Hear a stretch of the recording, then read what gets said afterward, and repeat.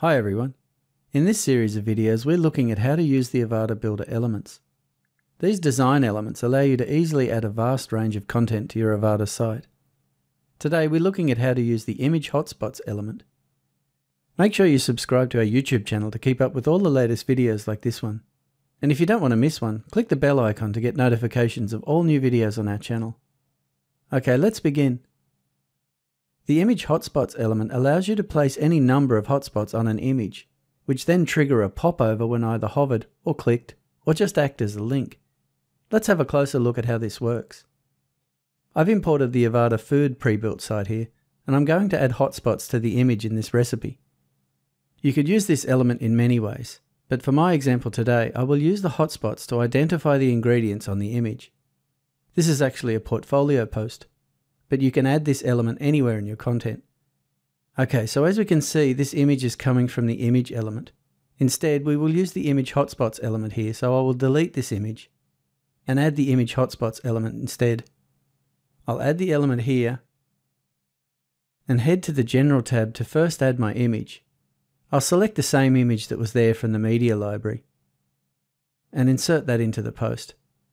Okay, so before we look at the hotspots, let's go through the remaining options on this tab. With the next option, you can set a maximum image width if you want. Otherwise, the image will display at its full width as long as that fits within the column it's in. Here, I'm happy with the full size image.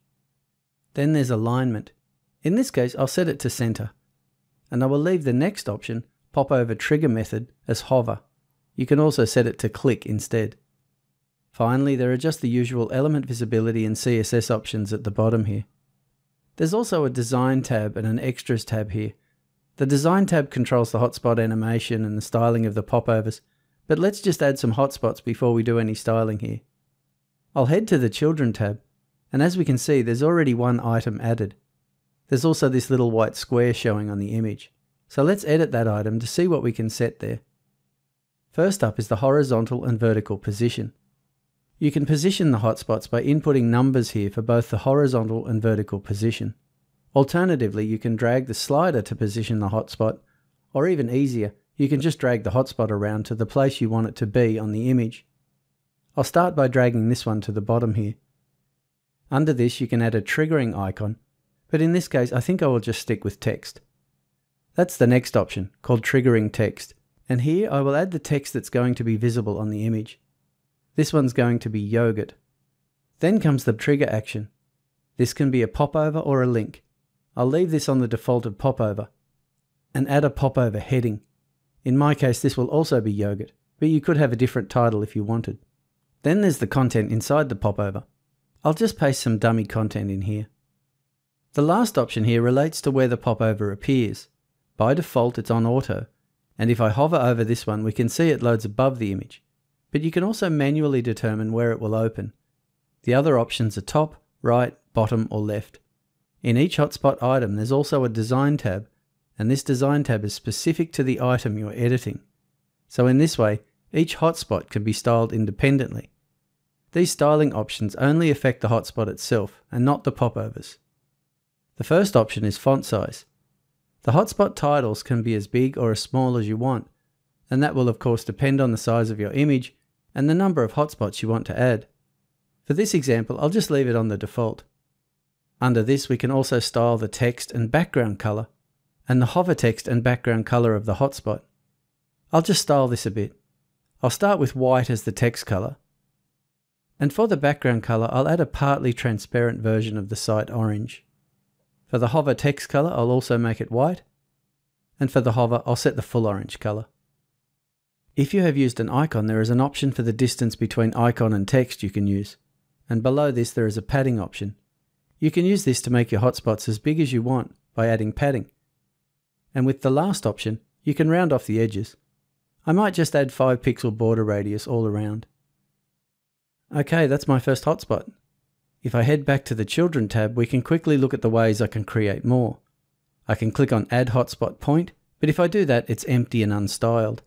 In most situations, it would probably be smarter to simply duplicate the initial hotspot, thereby keeping the same styling, and then editing it. I want the same styling on all the hotspots, so I'll just duplicate this one to create the hotspots I need, and then edit them. I'll just do that and then come back. Okay, I have made nine hotspots around the image, each one relating to a different ingredient. I've also changed the popover preferred open position on most of them to suit their position on the image. To finish up here, I'll just clone one more hotspot. I'll edit it and change the triggering text to see all our recipes. And then I'll change the button trigger action to a link instead of a popover. This gives three new options. The first one is link, and here I will select the recipes page. The next one is link title. This displays on mouse over, but I don't think it's needed here, so I will leave it empty. Finally, I'll just select this link to open in the same tab. Okay, I'll also just drag this hotspot to reposition this in the middle of the others. Alright, so that's all our hotspots. Let's come out of the items and look at the parent design tab. The first option is hotspots animation, and here you can get your hotspots to animate in any one of five ways. Pumping, pulsating, showing, sonar, and pumping plus showing. I'll just choose one so you can see what this does. This one's called sonar, and these animations just bring attention to the hotspots. For my example, I'll just leave it on this. Under this are four options to style the colours of the actual popovers. There's one for the popover heading background colour, the content background colour, the border colour, and the text colour.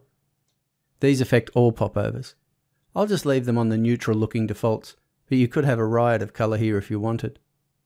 At the bottom there's also a margin option to control margins around the element as a whole. There's also an extras tab in this element with the usual element animation options.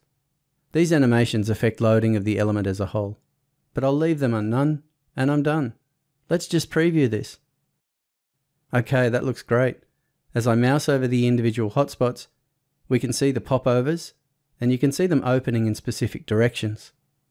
And the middle one doesn't have a popover at all, but we can see a link is active when we mouse over it, and this link would take us to the recipes page. Alright, that's the image hotspots element. This could be used in a myriad number of ways, so let us know in the comments how you have used it and what you think. Thanks for watching. Okay, this concludes our video on the image hotspots element.